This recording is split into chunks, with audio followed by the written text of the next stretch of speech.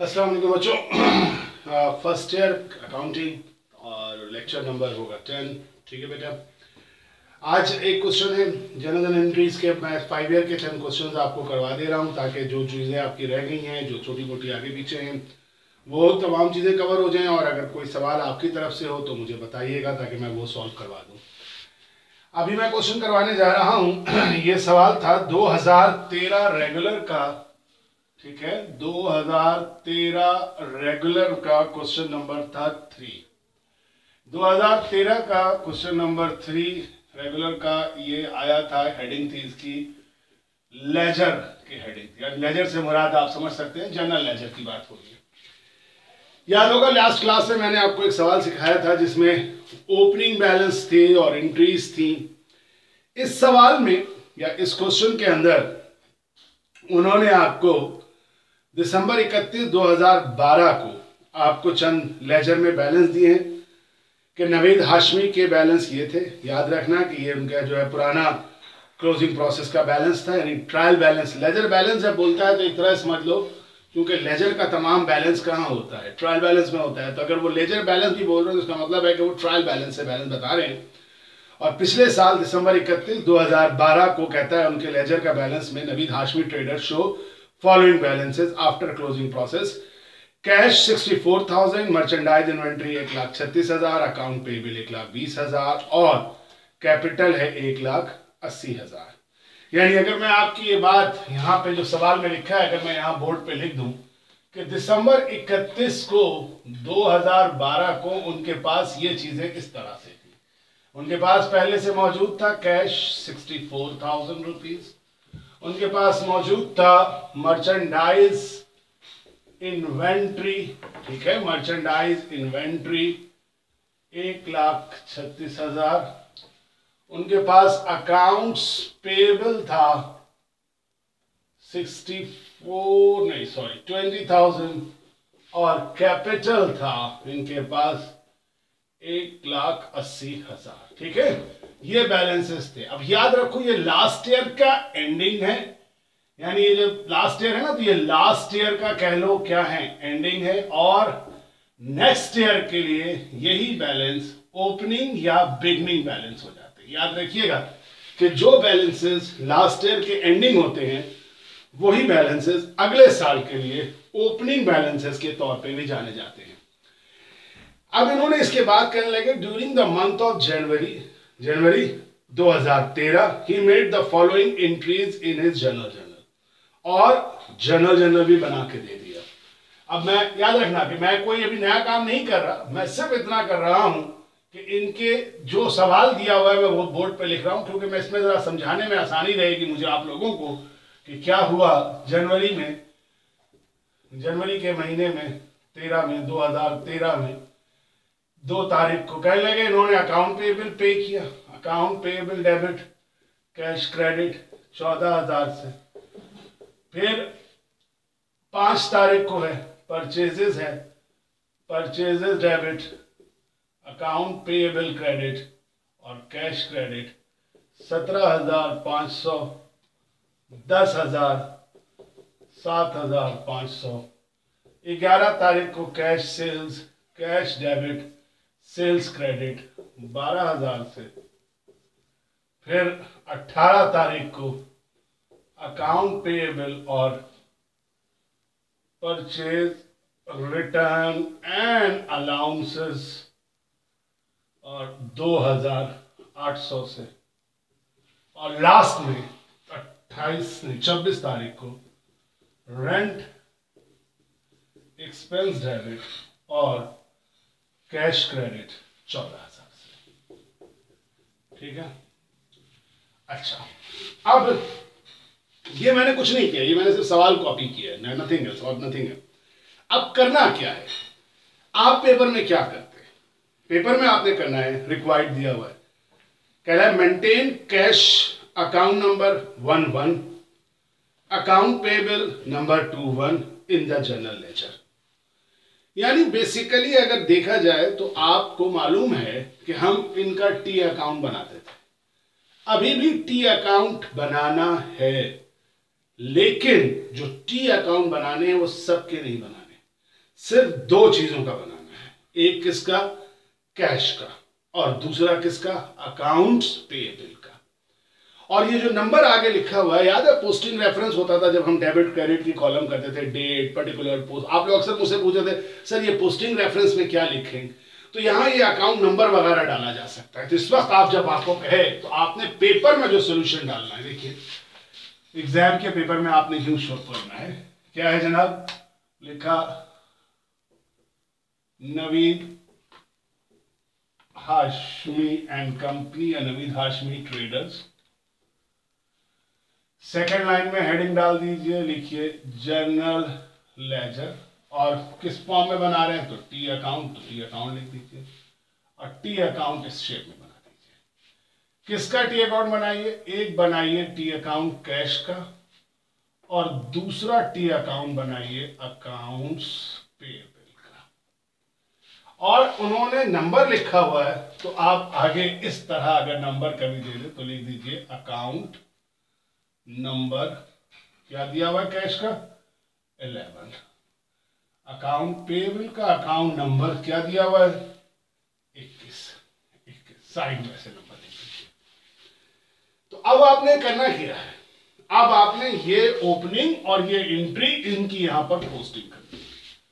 ये last class करवाया था, उसमें भी याद होगा ओपनिंग बैलेंस वाला करवाया था, ये भी वही है। बस इसमें क्या है कि सबका नहीं बनाना है, सिर्फ़ थोड़े का बनाना है। और आज एक छोटी सी और चीज़ सिखाऊँगा। मिसाल के तौर पर सबसे पहली चीज़ आपको लिखनी है कैश में बैलेंस लिखना है। और ये कौन सा बैलेंस है? ये बैलेंस है जनवरी फ़र्स्ट 2013 का ओपनिंग बैलेंस या ओपनिंग बैलेंस को हम लोग क्या नाम देते हैं? बीटी ठीक है ना? कितना है? थोड़ा सा मैं इस लाइन को उधर करो ताकि जगह समझ जाए। तो हम लिखेंगे बैलेंस बीडी कितना था? Opening balance sixty four thousand अब आप मुझसे पूछेंगे, या पूछना चाहिए कि सर, आपने जनवरी फ़र्स्ट क्यों लिखा, जबकि यहाँ दिसंबर थर्टी फ़र्स्ट था? तो मैंने बताया था कि चूँकि 2012 पिछला साल था, और जो 2012 का एंडिंग है, वो अगले साल के लिए नेक्स्ट साल के लिए क्या हो जाएगा? बिगनिंग हो जाएगा। तो 12 के बाद अगला साल कौन सा है? तेरह। दिसंबर इकतीस था तो नेक्स्ट ईयर नेक्स्ट डेट कौन सी होगी पहली? January first. और कितना था बैलेंस 64 लिख दिया 64 था। अब आप कहिए कि अब आपने क्या ऐड किया ट्रांजेक्शन तो अब यहाँ देखिए एंट्री में आ जाइए। जनवरी की दो तारीख को सिर्फ़ दो लिख रहा हूँ पूरा है जनवरी। कितना? चौदह हज़ार से कैश क्रेडिट हुआ। चौदह हज़ार से कैश को क्रेडिट कर दीजिए। पाँच तारीख को कैश साढ़े सात हज़ार से क्रेडिट हुआ। सात हज़ार पाँच सौ से क्रेडिट कर दीजिए। ग्यारह तारीख को कैश डेबिट हुआ बारह हज़ार से।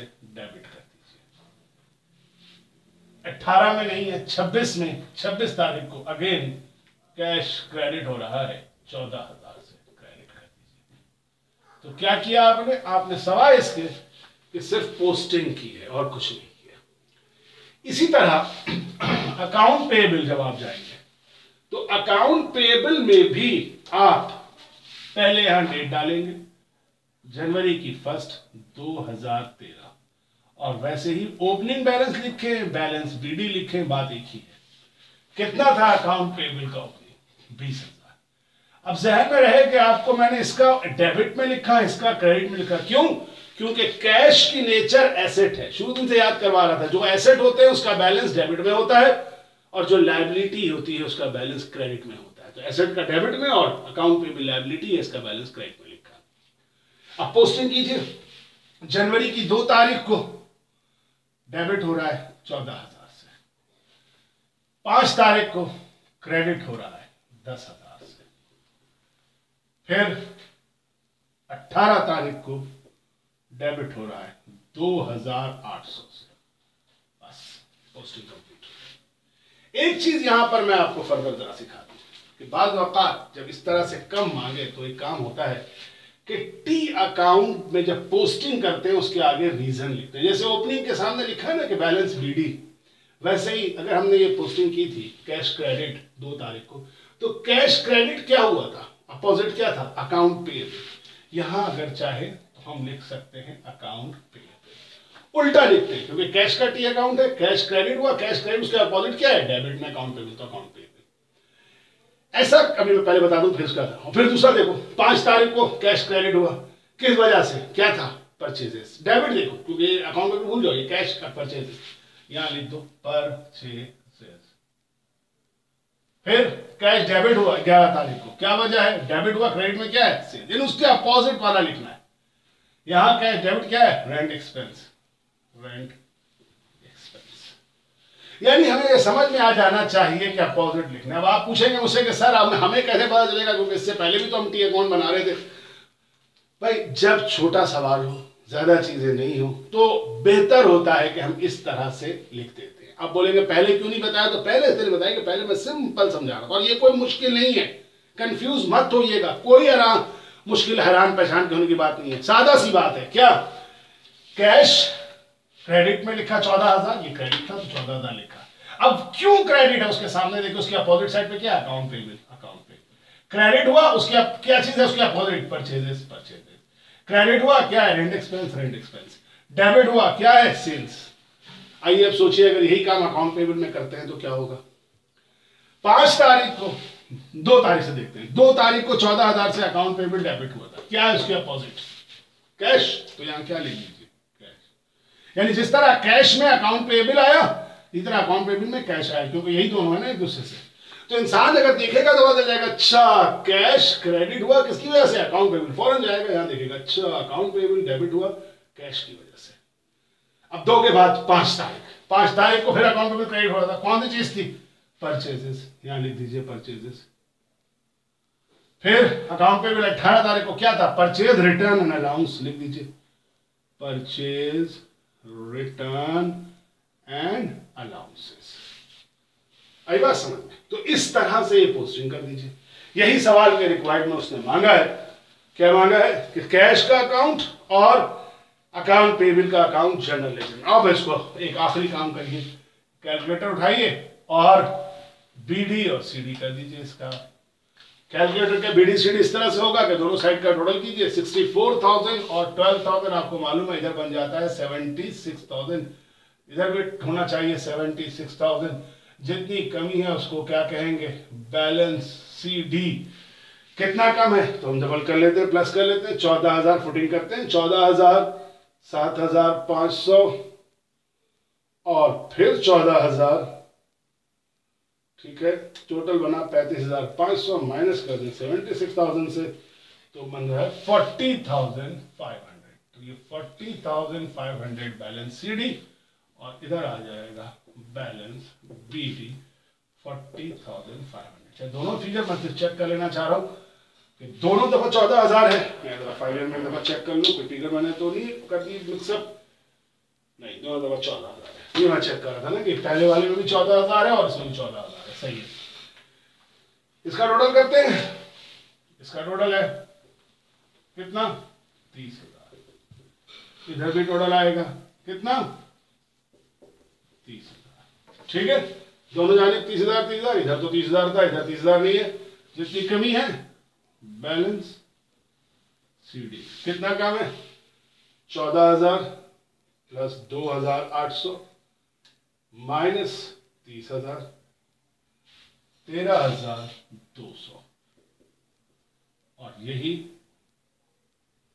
बैलेंस बी डी तेरह हज़ार दो सौ। अब सोचिए ये, आसान सा साढ़े बारह नंबर के लिए आपका काम है पोस्टिंग करनी थी। बस मैंने इस सवाल में एक नई चीज़ आपको सिखाई। क्या सिखाई कि अगर हम लेजर बनाएँगे तो हमेशा लेजर बनाते वक्त उसके अंदर एक पोस्टिंग करके दिखा देंगे। ये एक मैंने आपको चीज़ ठीक है ना? तो इसी चीज़ को लेकर मैं आगे चलूँगा और एक सवाल कराऊँगा आपको और ये बताता हूँ आप लोगों को कि किस तरह से है।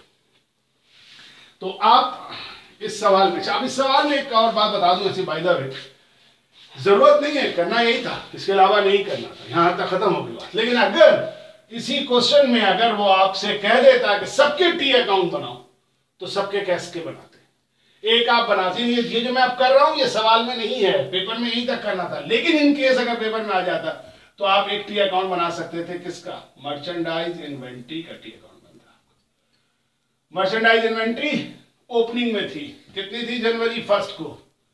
2013 को। आप दिखा देते।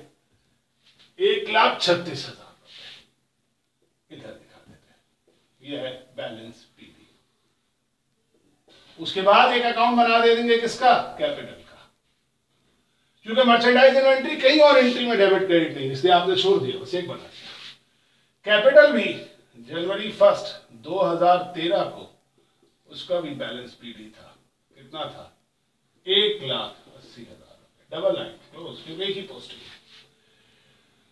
उसके बाद आप देखिए तो इसके बाद आपने एक अकाउंट था यहाँ पे, वहाँ पे खत्म हो गए कैश कैश बन गया, इन्वेंट्री इन्वेंट्री बन गया पेबल पेबल बन गया, कैपिटल बन गया, ये सारे हो गए। अब यहाँ से आइए।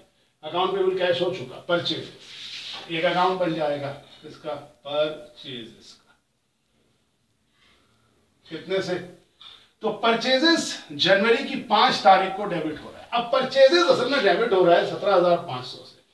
लेकिन दो अलग अलग चीज़ें अकाउंट पेबल भी और कैश भी है। अब चूँकि लिखना है तो हम लिख सकते हैं कि परचेजेस डेबिट अब बेशक है एक आदमी मैं समझाने लिख रहा हूँ, चाहे तो यूँ लिख दीजिए, सत्रह हज़ार पाँच सौ। दो चीज़ें हैं। क्या दो चीज़ें हैं? अकाउंट पेबल भी है और कैश भी है। लेकिन इसका अच्छा तरीका लिखने का क्या है? कि हम सत्रह हज़ार पाँच सौ को तोड़ के लिखते हैं कैसे तोड़ के लिखते ऐसे। कि अकाउंट परचेजेस हुआ, अकाउंट पेबल पे हुआ, दस हज़ार। और कैश पर हुआ सात हज़ार पाँच सौ। तो कोई बड़ी बात नहीं, सिर्फ़ तोड़ के लिख दिया।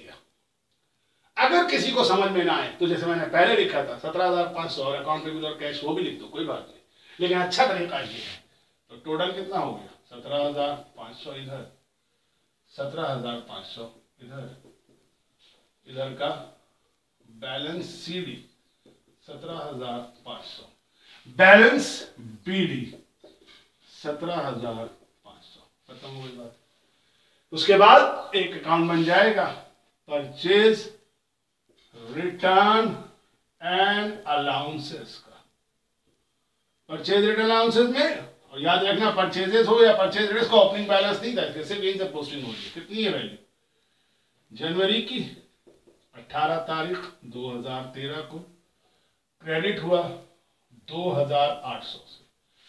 क्यों क्रेडिट हुआ? क्या चीज़ थी? अकाउंट लिख दीजिए अकाउंट फिर एक अकाउंट रेंट एक्सपेंस का।